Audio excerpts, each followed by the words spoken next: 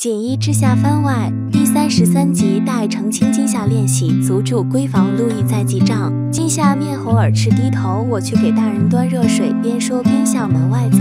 路易一把拽住他，我自己去端水，你的腿不能吃力。哎呀，大人，我哪有那般娇气？今夏轻声道，在我这儿便是要你娇气些，不准逞强。说着，路易已经到了门外，那我跟大人一起去。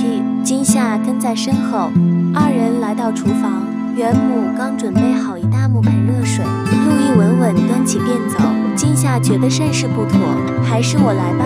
大人何时干过这等粗活？在外餐风露宿皆不在话下，这算那般粗活？哎，你只管开门便是。路易回道。今夏上前推开门，路易将水盆放在地上，溥仪坐在床边，今夏便蹲下身准备给他脱靴袜。今夏，我自己来。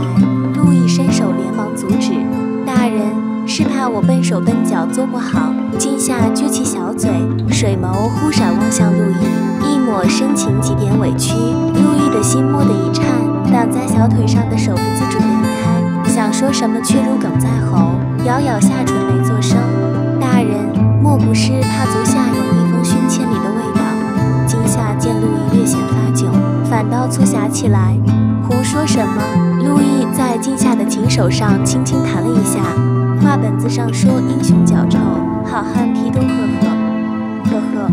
今夏弯起水眸笑出声，再现当年口没遮拦的顽劣。好你个袁今夏，画本子上的粗话用到我这里了，再记上一笔。看我日后怎么教训你！路易一边嘴角轻翘，笑意弥漫。大人连粗活皆舍不得我做，又怎么会舍得教训我？今夏笑嘻嘻地看他，你只管记下，已是两笔账，到时候便知道了。路易胸有成竹地笑着，说笑间，今夏已替路易脱去靴袜，将白皙修长的脚板浸入温热的水中。今夏低垂着头，笑意却丝毫未减，心想。大人脸角亦长得这般好看，柔软的小手虽略带薄茧，但丝毫不影响触感。今夏一下一下地拨弄着温热的水，小手在路易的脚背、脚掌、脚趾间游离，温暖舒适的感觉顷刻贯穿全身，仿佛要将它融化。路易暗暗垂心眸，眼前姑娘的琴手峨眉，随着他的动作微微颤动。看着看着，路易欲火焚身，心脏皆快要跳将出来。这是自娘亲离去后第一次有女子给他洗脚，且还是他心尖上的姑娘，是他几日后便要娶回家的姑娘。那是哪个男子会不血脉喷张，想入非非？开始的享受变成了线下的酷刑。好了好了，今夏可以了。路易催促道：“大人，水尚且很热呢，多洗一会儿，脚泡透了才更舒服。”今夏不明所以的回道，还在他的脚背、脚掌、脚踝处揉捏起来。这几处穴位多捏捏舒筋活血，还有助睡眠。是姨告诉我的，我经常给娘揉捏的。好了，真的不用了。陆毅如坐针毡，拿过帕子拔出脚，直接擦起来。哎，大人。因何这般着去睡吧，这里我自己收拾。路易甚是简言，真是。今夏撅起小嘴，以为自己哪里让路易不满了。路易无奈地看向他，又不想他误会自己，只得将人拉在身边，好生安抚道：“都好久了，腿累不累？听话，快去睡吧。我不。”今夏故意撒娇。想看看他到底如何变脸这般快。你确定不走？你确定不走？一会儿走不脱便休，要怪我了。金夏蓦地一颤，路易眼里熊熊的烈火烧得正旺，金夏被烫了一般，猛地跳开。大人，我我先去睡了，注意你的腿，再三嘱咐你别乱跳。路易轻斥道：“没事没事，不疼不疼。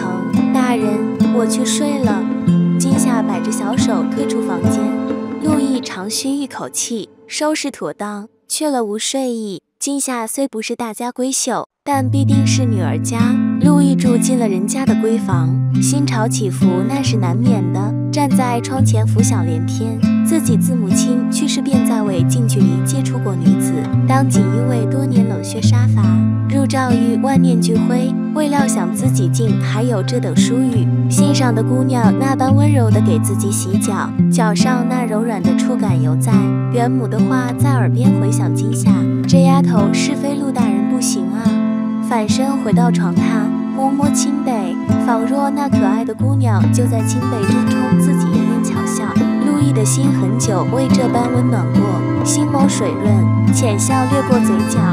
躺在床上，留有今夏体香的清背，枕头让他深深嗅了又嗅，辗转反侧多时，才在无限榴莲的香味包裹中陷入深眠。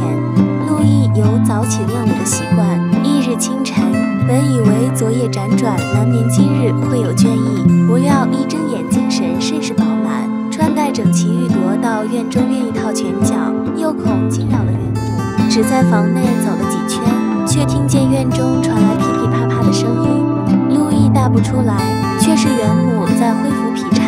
陆毅抢步上前，伯母，我来，这可使不得。陆大人，你勿去，这儿不用你。袁母连连摆手，伯母，晚辈正想练练拳脚，唯恐惊扰到您。现下正好。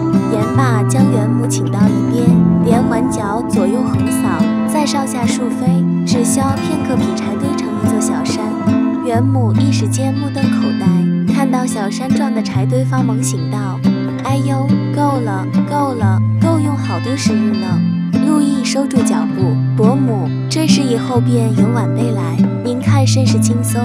元母笑道：“好，好，大人真是勤学苦练，找一切机会练功，怪不得功夫这般了得。今夏不知何时出来，适时夸赞。”陆毅轻笑不语，宠溺地摸摸他的头：“大人，人家刚梳好的头发，莫要弄乱了。”今夏拍拍他的手。